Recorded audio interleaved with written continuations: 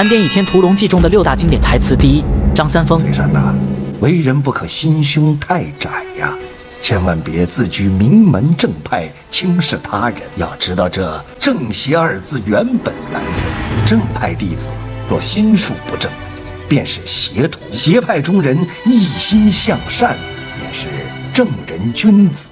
这是张三丰在他百岁寿诞那天，跟阔别了十年之久的爱徒张翠山说的一段话。当时。张翠山本来还担心师傅张三丰会因为妻子殷素素是魔教中人而将他拒之门外，哪知张三丰得知此事后，不仅没有半点排斥的意思，而且还谆谆教导他要放大格局，学会辩证看待问题。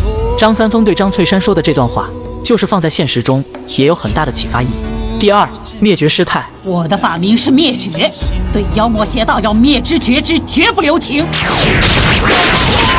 灭绝这句话跟张三丰的经典台词形成鲜明的对比。都说出家人慈悲为怀，六根清净。可是《倚天屠龙记》中的峨眉掌门灭绝这个角色，却是个脾气暴躁、心狠手辣，而且固执己见、睚眦必报之辈。除恶务尽，本来无可厚非。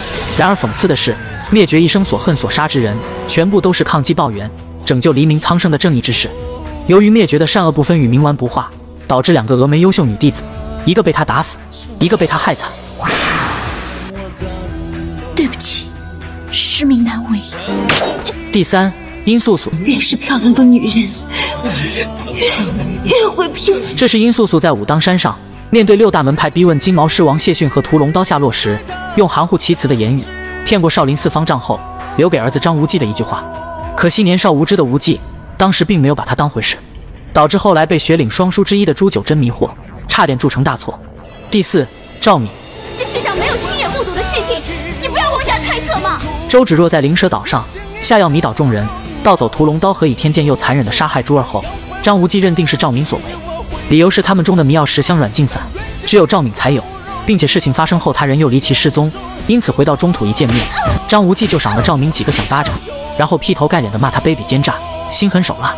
赵敏蒙受不白之冤，多次苦苦为自己辩解无果，最后便对张无忌说出了这句话。可惜没有证据，结果仍然无济于事。直到后来，张无忌因为与莫生谷的尸体不期而遇。而被正巧赶来的宋远桥等人怀疑为凶手，亲身体验了一把不白之冤，又被赵明点破。莫青霞是你杀的吗？为什么你的师叔伯都认定是你呢？殷离是我杀的吗？为什么你又认定是我？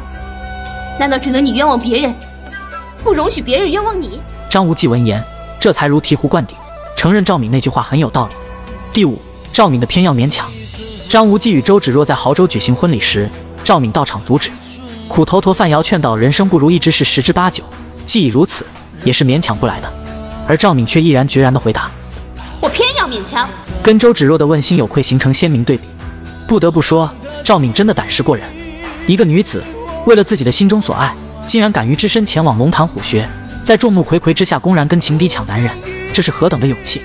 更让人佩服的是，她这并非一时冲动，而是非常清醒地抓住了张无忌的软肋，经过深思熟虑之后的英明决策。赵敏的这一壮举。让一旁的杨逍都露出惊讶的目光。想当年，他就是因为缺乏这样的勇气，没将纪晓芙留下，最终导致爱人被灭绝老尼打死，抱憾终身。第六，殷天正连老夫都自叹不如。这是头顶劳斯莱斯的白眉鹰王殷天正，在武当山上见到赵敏手下阿三表演身后内力时，脱口而出的一句话：连老夫都自叹不如。既有佩服语气，又带自嘲讽刺感，被无数网友称赞为倚天最经典台词。